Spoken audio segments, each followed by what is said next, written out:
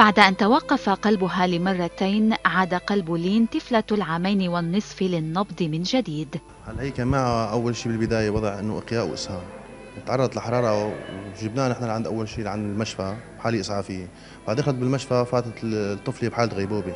والحمد لله وقت اللي فاقت استجابت. فاقت إنه بتعرف أهلها بتعرف أخذت أنا أخذتها على البيت ورجعتها بتعرف الأولاد بتعرف البيت. وعلى إيقاع هذا النبض عادت السعادة تسكن قلب والدتها من جديد. أنا كان عندي أمل بالله أنا وأبوها وقفنا ليل نهار إيدي بإيدها ما ترك إيدها. إنه تحس فيني أول شيء كان أروح اقصر رؤوس الأصابع بس إنه إنه خلص أنا بتأملي هالرؤوس الأصابع بدها تعيش بالتين وراها. يوم عن يوم افتح عيونها إنه راقبة ليل نهار إنه شو عم تتحرك؟ والحمد لله رب العالمين.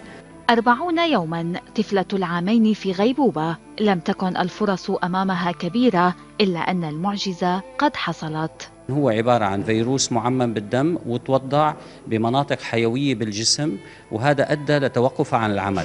فتوقف الكلية عن العمل أدى أنه صار عندنا قصور كلوي حاد وانقطع البول عند الطفلة بطلت تبول الكلية بطلت تطرح السموم اللي موجودة بالجسم. فهذه السموم كمان طلعت على الدماغ كمان فاقمت من الحالة سوءا. فالدماغ عانى من التهاب الفيروس اللي صار وعانى من تراكم السموم اللي أدت لأن الطفلة دخلت بسبات عميق. فصار نحن عندنا قصور كلوي حاد وسبات عميق. طفلي دخلت كانت بحالة عامة سيئة كثير طبعا غياب انعكاسات جذب الدماغ يعني إني بحالة سبات يعني اقرب ما تكون للموت السريري طبعا. هلأ المداخلة الكلويه الوضع اللي كانت هي الاساسيه بالأول اللي هي كان الوضع الكلوي هو الحالة الكلويه هي اللي مسيطرة بالأول طبعا.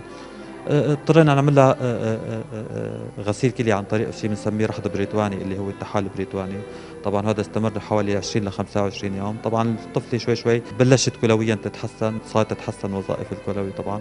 وكانت هاي البادرة لاني هي بعدين تتحسن باقي الوظائف. مثل ما شفتوا الحالة 40 يوم منفسة وكان تقريبا عكس الطب. يعني مش اني عكس الطب اني وصلنا لمرحلة اني برا يقولوا اني افصلوها عن منفسة وما هيك. حسب التقارير اللي كانت تطلع عنا بالإيكو والطبق المحوري والتحاليل الدموية. كنا نشوف نحن بصيص أمل إني نخليها عن منفسة. في شيء بالطب اسمه خارق. وصلنا للنتيجة جهود كله فريق عمل واحد من الأخصائيين المتميزين اللي عندنا للطبيب الكليه المتميز للمقيمين الأمياز. والفضل بيعود لأكثر شيء هو فعلا للكادر التمريضي اللي بيسهر 24 ساعة للحالة. المميز بحالة لالين وندرتها إنه هي الفترة اللي ظلت غايبة عن الوعي هي حوالي 40 يوم هي فترة طويلة. الفترة اللي ظلت منعكسات جذع الدماغ اللي هي المنعكسات الحيوية بالجسم اللي هي منعكس الحدقة منعكس تخريش القرنية منعكس التنفس العفوي التهوع كلها ظلت غايبة أكثر من 15 يوم. وبالتعريف الطبي نحن بالنسبة لنا هذا يعتبر موت سريري. وبالنسبة طبعا اللي خلى الحالة تتحسن بعد بعدين لا نحن ولا الأهل ما فقدنا الأمل بشفاء للين فعدم فقدان الأمل وإضافة المدعوم بفحوصات مخبرية وبتصوير متكرر وتخطيط دماغ هذا خلانا نحن نضل مصرين إنه في أمل. وخلانا نسابر بالعلاج مما أدى بالنهاية للنتيجة الجيدة إنه مثل ما شايفينها الصغيره رجعت تتحرك تحكي علاماتها الفكرية والذكائية رجعت لطبيعتها مثل ما كانت قبل. فرصة حياة جديدة كتبت للين هو القدر الذي لا بد أن يكون جميلا بمقدار انتظارنا وصبرنا.